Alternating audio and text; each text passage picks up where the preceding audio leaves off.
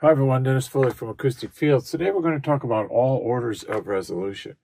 We know that music is composed of fundamentals and harmonics, right? Think of a kick drum. When the drummer hits the pedal and the mallet strikes the kick drum, that produces the fundamental. Kick drum vibrates, sends that energy out into the room, and it, then it decays. And the decay is a variance from the original frequency, right? So that's the original, and the harmonic is that tail, that measure of decay. And that's where resolution is important. So we know our old friend reverberation is how long a sound stays around in the room after it's been sung, spoken, or played. We know that, okay?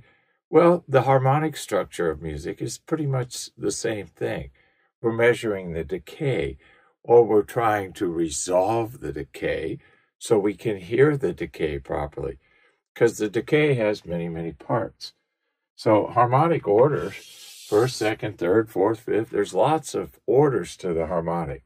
If we take a fundamental frequency of 40, we have our first order at 80, 120, 160, and 200.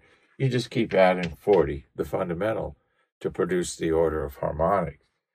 So the room dimensions are critical. Treatment balance is critical.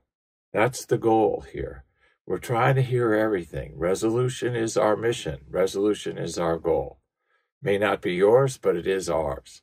So if you come to us, come to that realization that we're all about resolution and we're pushing boundaries as far as we can push them. And that may work for you, it may not. You may not want to go that high, that's fine. There's different exit ramps, so to speak, on, on this freeway. So, but that's our goal because we know with the harmonics that that's where the emotional connection to the music lies. That's what you got to get right. And there's a whole series of things you have to do to get that right. Can you feel and hear all the harmonics in your room? Or is something missing? I talk to hundreds of people each month, and they all say the same thing something's missing, but I don't know what. And that's usually the case, the harmonic. And then you look at the treatment in their room, and they have boxes filled with building insulation. Excuse me. So that's never going to work because that doesn't have the rate, the right rate level of absorption for music and voice. Our foam technology does. That's a good example of that. And you can see here in the graphic the performance of it. See the linearity in the top red line curve? That's what you want.